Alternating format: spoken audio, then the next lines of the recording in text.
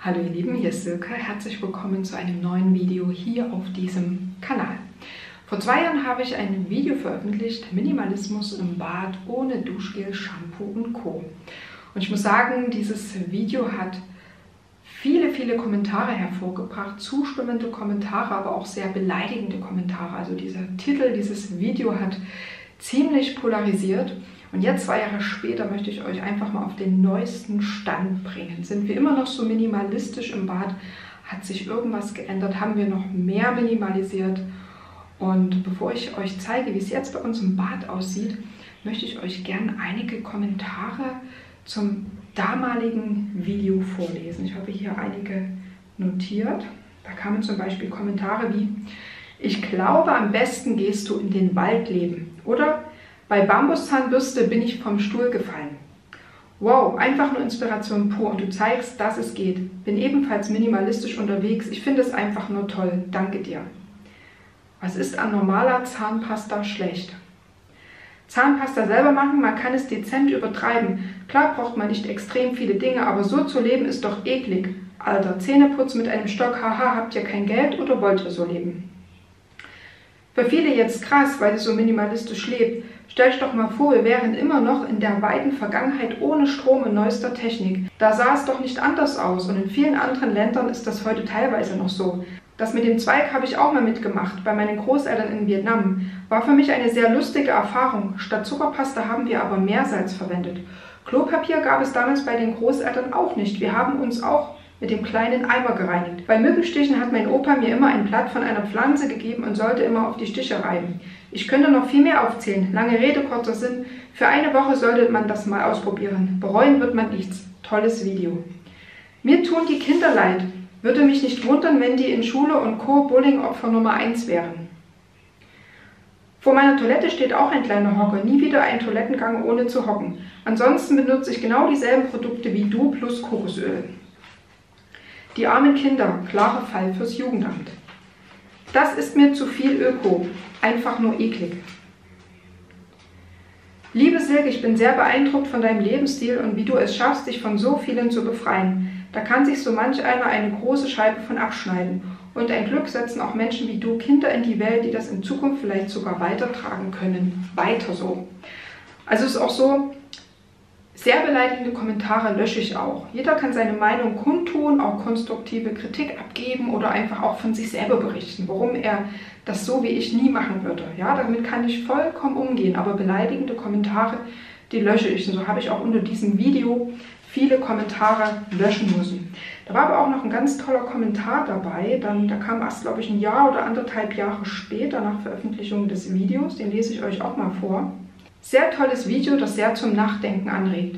Es erscheint natürlich sehr weltfremd für uns, weil wir es nicht gewöhnt sind. Das spiegelt sich auch in den unten angeführten Kommentaren wieder.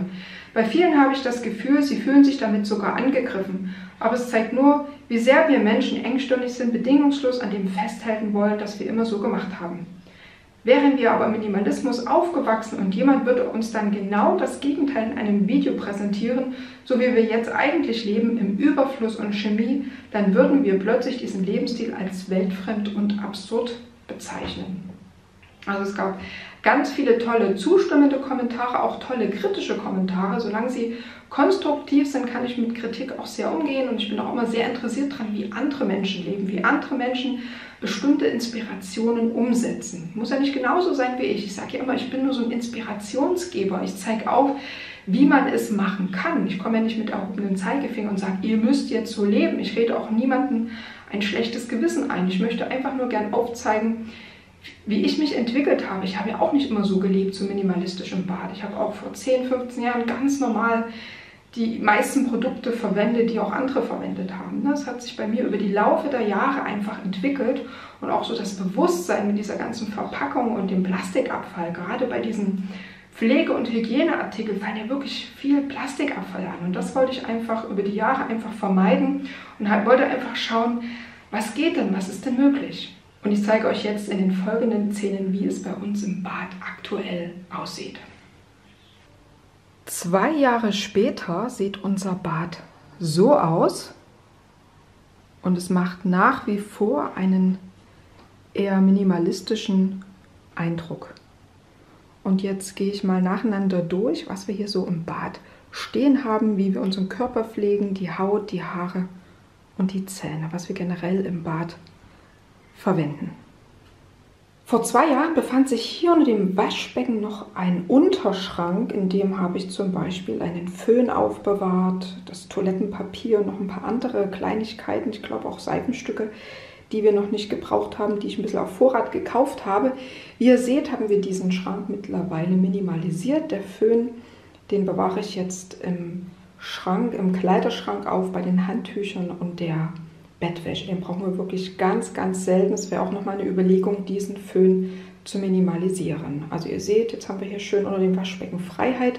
Der Unterschrank ist auch immer relativ schnell eingestaubt. Da musste man auch immer relativ viel Staub wischen und das erledigt sich jetzt, indem der Schrank jetzt einfach minimalisiert wurde. Das Waschbecken ist recht einfach gehalten, recht minimalistisch. Ihr seht hier einfach eine natürliche Unterlage für die Handseife. Wir haben einfach ein Seifenstück, das kaufen wir im Bioladen. Da gibt es auch nicht große Verpackung dazu, einfach nur eine Papierbanderole. Und so waschen wir uns schon seit vielen Jahren die Hände. Ich habe früher ich würde mal sagen, so vor sieben Jahren habe ich vielleicht noch Flüssigseife gekauft, meist zwar ökologisch, aber die gibt es auch nur mit Plastikverpackung. Das muss ja nicht sein, man kann sich auch einfach mit einem Seifenstück die Hände waschen. Das hat viele Jahrhunderte für Menschen funktioniert und das funktioniert auch in heutiger Zeit, wenn man sich mal bedenkt, wenn man immer diese Flüssigseife kauft, was da an Plastikverpackung im Jahr oder über die Jahre zusammenkommt und man sich dann auch mal überlegt, was passierte mit der Plastik und dass die überhaupt nicht abbaubar ist. Also da kommt einfach unnötiger Müll zusammen und ich würde immer wieder empfehlen, nehmt einfach ganz normale, natürliche Pflanzseife. Hier weiter oben befindet sich eine Ablage mit unseren Zahnputzutensilien. Nach wie vor haben wir unseren Emaille-Zahnputzbecher. Darin stecken unsere nachhaltigen Zahnbürsten aus Bambus. Die sind plastikfrei und umweltfreundlich und die benutzen wir schon seit einigen Jahren und sind noch sehr, sehr zufrieden damit. Was man dazu sagen muss, wenn jemand empfindliches Zahnfleisch hat, dann sollte derjenige mit Bambuszahnbürsten vorsichtig putzen. Die Bürsten sind relativ hart, aber ich habe kürzlich einen Tipp bekommen. Ich hatte in einem kürzlichen Video auch mal meine Zahnputzrituale vorgestellt am Morgen und am Abend und da hat mir tatsächlich jemand eine nachhaltige Zahnbürste aus Bambus mit weichen Borsten empfohlen. Die habe ich mir natürlich dann gleich besorgt und die werden wir dann als nächstes testen. Das ist unsere selbstgemachte Zahnpasta. Die weiße Zahnpasta besteht einfach nur aus verflüssigtem Kokosöl und pulverisiertem Xylotol. Das Xylotol ist gleichzusetzen mit Birkenzucker und das ist eine sehr einfache und natürliche Zahnpasta und damit putzen meine Jungs schon seit ein paar Jahren ihre Zähne. Mein Ältester liebt den Geschmack Pfefferminz, also habe ich hier in sein Glas noch einen Tropfen reines ätherisches Pfefferminzöl dazugegeben und mein Jüngster, der liebt den Geschmack Orange in seiner Zahnpasta, also hat er in seinem Glas auch noch reines ätherisches Orangenöl dabei. Wie gesagt, eine sehr natürliche Zahnpasta, aus der man sogar Schokolade herstellen könnte, wenn man Kakao oder Karob hinzufügt. Da werden sich vielleicht jetzt einige fragen, wie eine Zahnpasta aus Zucker, das ist doch total irre. Das kann ich mir überhaupt nicht vorstellen. Also dieser Birkenzucker, das ist ein ganz besonderer Zucker. Der wird aus, meistens aus der finnischen Birke hergestellt. Und das Besondere an diesem Zucker ist, dass Kariesbakterien diesen Zucker nicht verstoffwechseln können. Gibt es auch eine ganz interessante Studie dazu, hat man schon in den 70er Jahren eine Studie durchgeführt mit diesem Birkenzucker. Wenn ich den Link zu dieser Studie finde, dann setze ich sie auf alle Fälle in die Infobox oder in den ersten Kommentar. Wen das interessiert, das Thema, der kann sich dann gern noch weiter belesen. Dann haben wir hier noch eine gelbliche Zahnpasta. Das ist meine Zahnpasta, die verwende ich auch schon seit mehreren Jahren. Das ist einfach nur verflüssigtes Kokosöl und Kurkuma. Kurkuma ist auch ein wundervolles Pulver. Es wirkt entzündungshemmend und bleicht die Zähne etwas. Also ein ganz natürliches Bleichmittel. Es färbt alle möglichen Haushaltsgegenstände in der Küche gelb, aber die Zähne, also echte Zähne, bleicht es eher ein wenig. Neben meiner Zahnpasta steht ein Zahnpulver, welches ich seit einigen Monaten verwende mal abwechselnd am Abend mit meiner selbstgemachten Zahnpasta. Das ist ein wundervolles Pulver mit gesunden Zutaten, die man auch essen könnte. Dieses Zahnpulver besteht aus fünf Zutaten: Originalrügner Heilkreide, Natron, Xylit, also Birkenzucker, Kurkuma und Pfefferminzöl. Und unsere selbstgemachten Zahnpasten enthalten ja auch Kurkuma und Birkenzucker. Also eine wundervolle Ergänzung zu unserer selbstgemachten Zahnpasta. Neben unserem Zahnpulver steht eine Tüte mit Zahnkristalle, die wir seit einigen Wochen testen. Ihr seht hier so einen Zahnkristall. Das ist eine sehr sinnvolle Ergänzung zur natürlichen Zahnpflege. Die nimmt man immer am Abend nach dem Zähneputzen und so ein Zahnkristall löst sich nach circa 10 Minuten im Mund auf. Und das ganz Tolle an diesen Zahnkristallen ist, dass sie den Speichel alkalisieren und damit die Remineralisierung der Zähne fördern. Und die Zahnkristalle bestehen aus Xylit, also aus Birkenzucker. Da gibt es auch eine wissenschaftlich belegte Wirksamkeit. Also ganz toll, die testen wir jetzt. Auf der linken Seite befinden sich meine liebsten ätherischen Öle von Young Living. Das sind hochwertige, reine ätherische Öle, die ich schon seit vielen Jahren verwende. Aktuell sind meine Lieblingsaromen Weihrauch, Lavendel und Zitrone. Weiter hinten befindet sich ein Fläschchen mit Teebaumöl. Das verwenden wir zum Beispiel bei Insektenstichen. Und daneben steht noch ein Glas oder ein Fläschchen Lavendelöl von Lavera. Das ist mein Nachschub, weil die andere Flasche ist fast leer. Daneben seht ihr ein kleines Gläschen mit Kokosöl. Das verwende ich ab und zu zur Körperpflege, eben im Zusammenspiel mit diesen reinen ätherischen Ölen von Young Living. Und hier habe ich ein ganz tolles Mitbringsel von der Maria von Morofo. Die hat mich kürzlich besucht und mir eine selbstgemachte Körpercreme mitgebracht. Ich glaube, da ist auch Kokosöl drin, Kakaobutter und auch ätherische Öle. Das ist auch wunderbar für die so für die Körperpflege geeinigt. Die verwende ich auch ab und zu. So sieht es auf der rechten Seite im Spiegelschrank aus. Hier vorne seht ihr ein Glas mit zwei Mieswachzweigen. Das ist eine natürliche Zahnbürste, die ich fast jeden Morgen zur Zahnpflege verwende. Und diese natürliche Zahnbürste enthält von Natur aus Stoffe, die die Mundhygiene verbessern und fördern. Ich habe kürzlich ein Video veröffentlicht zu meiner Zahnpflege und da habe ich das auch noch ein bisschen genauer erläutert. Und wer das Video noch nicht gesehen hat, dem verlinke ich es oben rechts in den Infokarten. Dann habt ihr hier eine schwarze Flasche, das ist Rizinusöl. Das nutze ich auch ab und zu für die Hautpflege. Das hat pflegende Eigenschaften und wirkt entzündungshemmend und verhilft der Haut auch zu mehr Geschmeidigkeit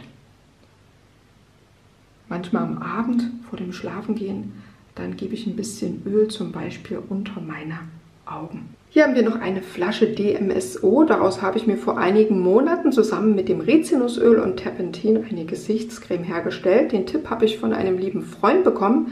Es war eine sehr interessante Erfahrung.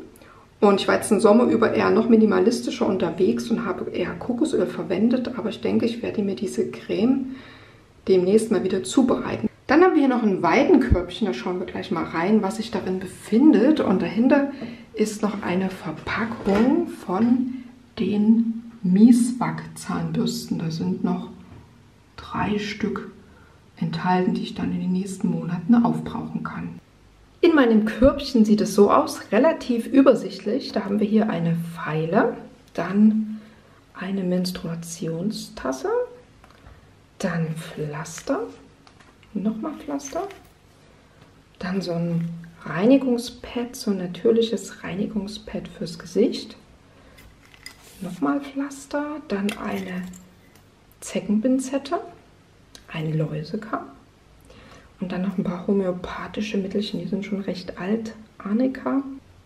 Hier oben auf dem Spiegelschrank befindet sich noch so ein Körbchen mit natürlichen Haarbürsten. Hier oben auf der rechten Seite befinden sich die Utensilien von unserem lieben Mitbewohner Henry. Dazu kann ich gar nicht so viel sagen. Also er verwendet auch auf alle Fälle eine Bambuszahnbürste. Zahnkristalle hat er hier auch in so einem kleinen Päckchen. Reine ätherische Öle, Kokosöl und hier eine Dose Birkenzucker. Und ich glaube, in diesem Spirulina-Döschen ist auch noch fein gemahlener Birkenzucker. Also ist auch relativ übersichtlich. Also das seine, sind seine ganzen Utensilien fürs Bad. Weiter geht's. Das ist eine Trockenbürste, die ist auch von Henry. Und hier, das ist Lavaerde. Die verwende ich schon seit drei, vier Jahren für meine Haut und Körperpflege. Ich wasche mir einmal in der Woche meine Haare mit einer Paste aus dieser Lavaerde und Wasser. Und ich bin damit sehr, sehr zufrieden. Ich verlinke euch diese Lavaerde unten in der Infobox oder im ersten angepinnten Kommentar und werde euch auch einen Blogartikel verlinken, wo ich meine Erfahrung mit der Lavaerde beschreibe, also meine Pflege für Haut und Haare. Hier unten gibt es auch noch was, sehr übersichtlich. Das ist meine Trockenbürste für die Haut und das ist eine Gesichtsbürste. Die nutze ich auch schon seit einigen Monaten.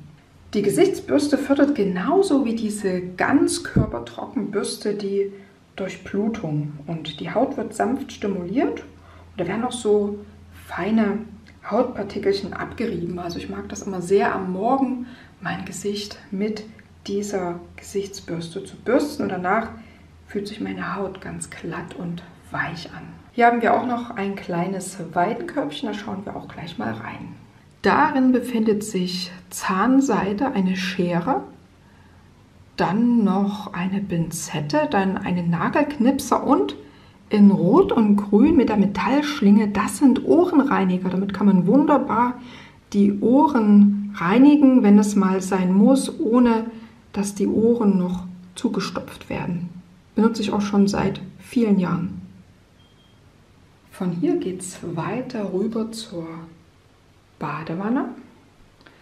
Hier oben ist Henrys Handtuch und seine Glysopumpe, also so eine Art Einlaufgerät. Hier ist auch noch ein Einlaufgerät, das wurde mir letztens empfohlen. Dann muss ein ganz tolles Gerät sein. Ich habe das noch nicht getestet. Ich werde demnächst wieder fasten und dann werde ich dieses Einlaufgerät auf alle Fälle testen. Ihr seht hier um die Badewanne herum, hier ist eine Aloe Vera Pflanze, sieht es recht minimalistisch und fast plastikfrei aus. Aber was dazugekommen ist, wir haben wieder Shampoo im Bad stehen. Also ich verwende nach wie vor Lavaerde, aber mein Ältester, der ist jetzt 13, der hat sich dann irgendwann ein Shampoo gewünscht und dann habe ich im Bioladen ihm ein Brennnessel-Shampoo gekauft.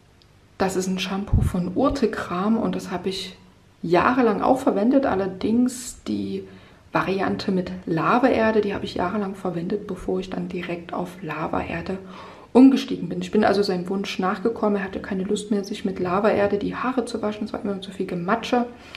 Und jetzt steht eben immer mal Shampoo in unserem Bad. Da seht ihr ja auch eine Handbürste aus Holz. Ich hatte früher auch eine aus Plastik. Die habe ich mittlerweile entsorgt. Dann haben wir hier noch eine Seifenschale. Darin befindet sich die Seife von Henry. Ich glaube, das ist eine Sandelholzseife und noch zwei selbstgemachte Seifen von meinen Jungs.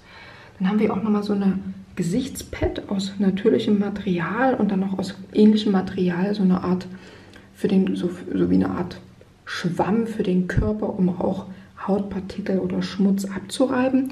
Hier nochmal eine natürliche Seifenunterlage und ich glaube, das ist Eisenkrautseife. Also verwenden keinerlei Duschgel wir waschen uns nur mit Seife und hier seht ihr mal eine Schüssel mit Lavaerde. Wenn ich sie mit Wasser anrühre, dann entsteht so eine Paste und damit kann man sich ganz normal waschen, Haut und Haare. Das hier ist eine geniale Hornhautfeile, die verwende ich seit einigen Monaten, also eine Hornhautraspel. Das ist eine Edelstahl-Fußfeile mit einer groben und einer feinen Seite.